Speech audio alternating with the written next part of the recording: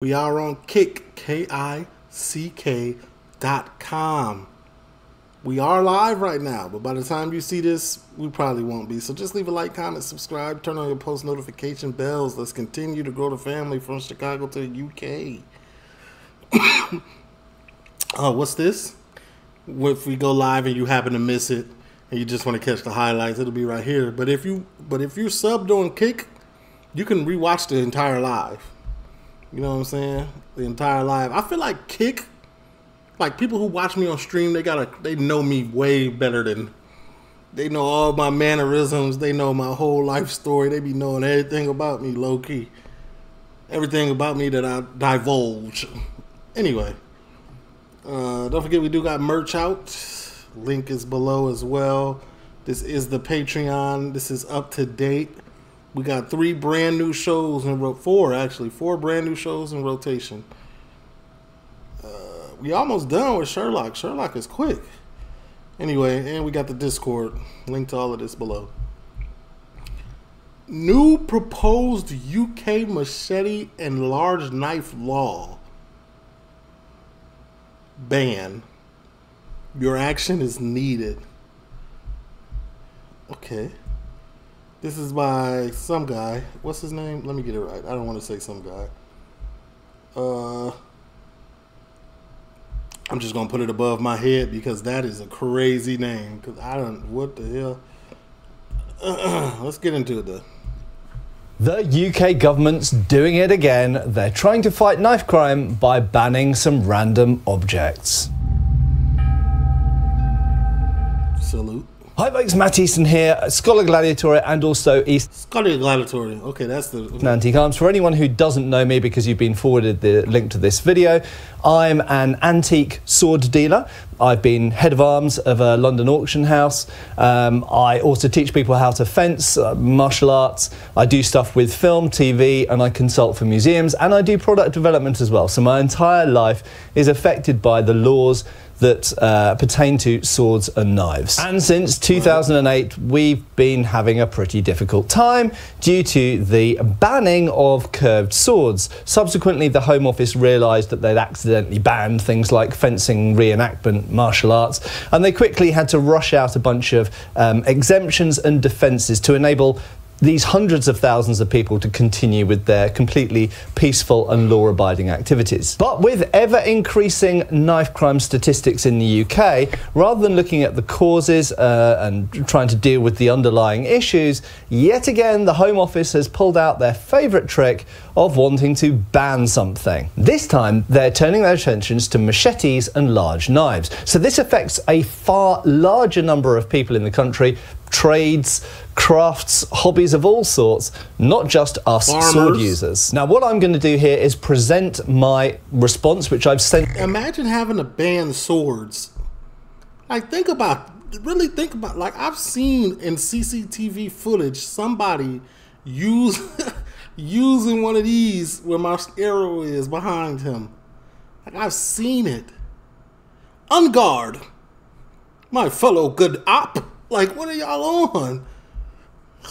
Oh, man to the Home Office. I'm going to share a link to that below as well, and also a link to the consultation. So this is currently a consultation process. What you can do to make a difference here is to respond to the consultation. Obviously, I suggest that you do so in an intelligent, coherent, well edited, and concise way. Maybe more concise than me, um, so that it will have the most Sir? effect and help the officials at the Home Office to realise the pitfalls of what in crime, despite the fact that we know that the vast majority, practically all, in fact, of knives used in crime, statistically are kitchen knives or tools like screwdrivers and chisels. But nevertheless, they're looking at machetes and large knives, and they have to eh, read the consult. They want to ban the shocking stuff. The shocking stuff. Like you can't ban a a Phillips screwdriver or a flathead screwdriver, but you can ban a machete because the shock value is there. um, consultation document below, but fundamentally they're looking at banning or prohibiting knives which contain two or more of the three characteristics. One, a single edge. Two, a serrated edge. And three, more than one hole in the blade. As many of you will immediately realise, this covers a whole raft of objects which aren't necessarily the things that they're intending to ban. But Yeah, yeah, yeah, yeah. That's a lot of stuff. Single edge, serrate. I mean, multiple holes. Now, I'm just going to read through my response. You can uh, absorb that and hopefully it will help you to form your own response. Dear Sir or Madam, I'm writing specifically in response to the government consultation looking at the proposal to add a new object to the Offensive Weapons Act 2019. I want to focus on three specific points that I feel have been drastically overlooked. Number one, the proposal could cause more deaths from stabbing. Number two, the proposed text That's true. That's true. The proposal could cause more deaths from stabbing because with my bad with these instruments that they are banning, they're gonna have to. Criminals are gonna find something to substitute for them that are even more dangerous or even more like not straight edged or or not something that can be easily repaired by a doctor. Erroneously covers many objects that are common tools. Three, the proposal must include exemptions and defences for legal activities. I'm a military historian and fencing instructor consulting for TV and films, as well as being an antique military dealer. I go on to basically give my resume. I won't share that with you here. Thank you. While I fully understand the impetus and desire for new anti knife crime activities, given the troubling statistics, I was alarmed to read the 2023 proposed legislation updates to the Offensive Weapons Act 2019. I feel this proposed proposal, sorry, is very wide of the mark and will do more harm than good. It does not at all seem to achieve the goals of the government, in brackets, to reduce knife crime and make us safer.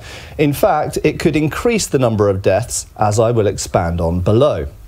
In addition to that, I can see a lot of pitfalls evident in the text, which will adversely affect civil servants enacting and enforcing it, for example, police and border force, as well as trades and hobbies trying to comply with it, such as reenactment, bushcraft, fishing, TV, film and theatre, gardeners, DIY, etc.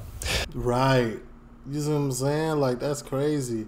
I said that in the beginning. Like gardeners can't even go garden. Like what if you got a root that's too big and you need a machete to cut that mug? Like you, what you supposed to use? A, a pair of kitchen shears? Which what? Your draft proposal appears impractical and counterproductive. Number one, the proposed legislation will make the streets more dangerous. As Okay, come on. Talk to me about the streets. I know you're not involved, but talk to me. I'm sure you're aware, the Office for National Statistics, the ONS, estimates that over 80% of knife violence is committed with kitchen knives, with a large proportion of the remaining 20% being carried out with tools such as box cutters, chisels, and screwdrivers. There are they are predominantly used to stab, not chop.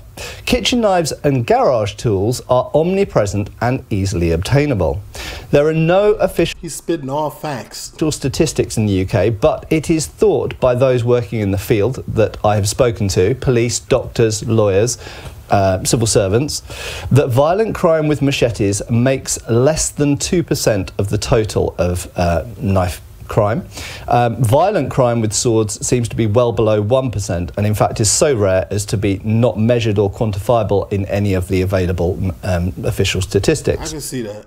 It'll just be like shot. They people see like you see them a lot on YouTube and on in videos because obviously it's shocking and crazy to see somebody with a machete or a katana blade outside, you know, spinning your block. But I, I would imagine it's rare, especially the katana blade.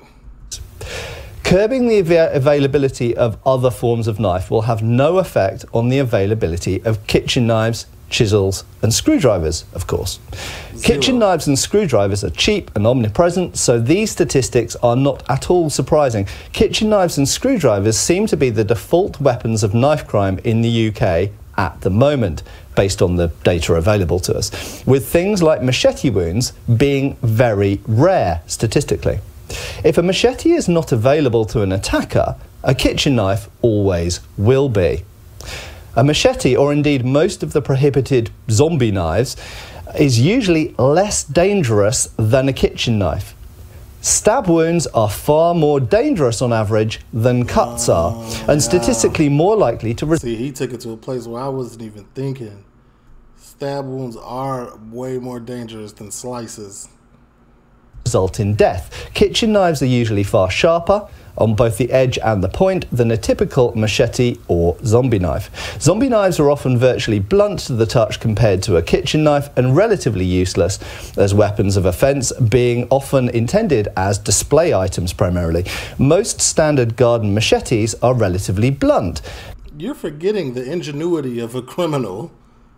I will say that though. You are forgetting. I hear your statement is rare, but come on now. You don't think people are sharpening those before they go outside? They can be sharpened. I'm pretty sure they are being sharpened. compared to kitchen knives at least, and broad tipped, being used to hack and designed to hack, not stab. They will not generally penetrate clothing with a stab due to their tip shape. Machetes are therefore, in general, less dangerous medically than kitchen knives or chisels or screwdrivers are, and those other things that predominantly used in stabbing. If the criminal intended to use a machete were to switch to a kitchen knife, then your legislation has only succeeded in making the attacker more dangerous. And we should expect. I see he's trying to get a point across. His point is super valid. deaths to increase correspondingly. Surely enough criminals. Um, Let me tell you about these criminals, man. Let me tell you something, especially about knife crime, right? A lot of people are swinging, like he said, to cut, to slice. It's, it's rare where you get up on somebody and they they really trying to insert, twist and turn. You know what I'm saying? It's very rare. So he he he he he's valid right now. He's valid. You're gonna turn pump fakers into real shooters out here, like real, like you know what I'm saying. Y'all get the analogy that I'm trying to make right now. Pump fakers, where you fake like you gonna do something, like you fake like you gonna you gonna turn them into real doers. encouraging criminals to switch to using more dangerous kitchen knives is a recipe for disaster. Criminals choose machetes for intimidation due to their size, Big facts. It's a shock value. not due to their medical knowledge or understanding of how weapons work. Doctors will tell you that kitchen knives are often more dangerous to life than a machete is, and criminals will always have access to kitchen knives. Therefore, the only logical evidence led approach is to concentrate all efforts on the causes of knife assaults, including robust stop and search powers, which police apparently want not to try and ban ever greater numbers of tools when kitchen knives will always be available in every kitchen to every potential attacker. Number two, the proposed legislation will accidentally ban many common tools. The wording of the proposed legislation is such that it will create confusion amongst those enforcing it, enforcing it and those living there. You know what they're gonna do with his letter? They're gonna scan that mug, like you know, scan it with their eyes. They're gonna look through it and then throw it in a pile to be filed.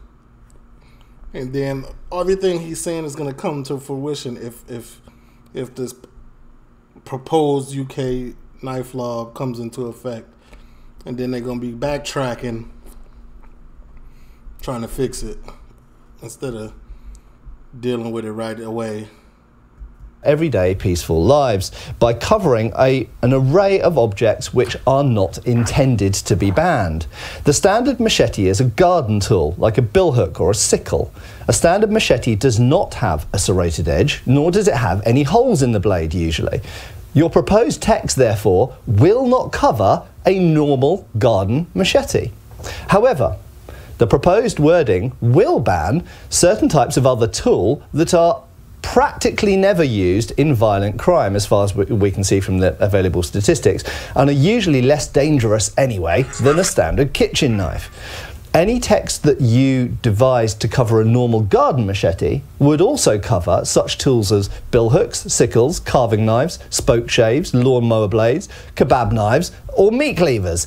As is probably clear to you, these tools are used by numerous trades and hobbies the length and breadth of the UK That's true. and are You can't even go to a kebab shop and get you shop and get you a good little, you know what I'm saying? Chicken shawarma or whatever they be slicing up in there. are essential to those trades and hobbies. Why can inconvenience hundreds of thousands, possibly millions, of citizens when most of the knife crime is being conducted with kitchen knives? Has always been and will always be, regardless of what you ban. The criteria you pro- propose of banning knives over a certain size, with blades having any two of one, a conventional edge, a serrated edge, and more than one hole in the blade, accidentally runs the risk of covering a wide range of non offensive and practically never used in crime tools. The ambiguities even extend to the most fundamental question of what qualifies as an edge of a blade. For example, if a kitchen knife has not yet had the grip scales added to it, then what you have is a blade with more than one hole in it. So that would be a prohibited illegal item. This would become banned, therefore. And how would a company manufacturing kitchen knives ever get to construct them uh, before they've put the grips on? Many gardening tools have serrated saw I think he's reaching right there, but continue. edges and holes in the blade. Many DIY saws have a serrated edge and holes in the blade. Chainsaws have serrated edges and holes in the blade. Ooh, okay. Many types of scissors and kitchen knives have holes in their blade, and certain types of sport fencing and historical reenactment swords also have holes in their blades. The list goes on and on. Three. Exemptions and defences. We have already hopefully learned a lot of lessons from the disastrous banning of curved swords, and needless I should add, in 2008, and the subsequent amendments um, by the Home Office to deal with the wording of the legislation to allow the numerous popular legal activities enjoyed by hundreds of thousands of UK citizens to continue. Although not unimpeded, I, I have to say, such as fencing, I think we get it at this point. Uh, um, once again, the government is looking to patch. They're looking to patch something instead of replacing the, the entire problem. You know what I'm saying? That's not gonna fix it. It's not gonna. He's making a valid point. There's kitchen knives. Eighty percent of this is done with kitchen knives. The other percent is done with garage tools. Like a bad guy is always gonna find something to do bad stuff with. At the end of the day, so don't harm regular citizens with this bullshit ass laws that they be coming up with, man. And at the end of the day, uh, I get it. You want to protect. You want to get these crimes off the street. Well, you know, let's not look at the the obvious thing to do. The obvious wrong thing to do. Let's let's let's take a little deep dive. Let's let's really focus in. DLO, leave a like, comment, subscribe, turn on your post notifications. Let me know what y'all think in the comments. I'm gone.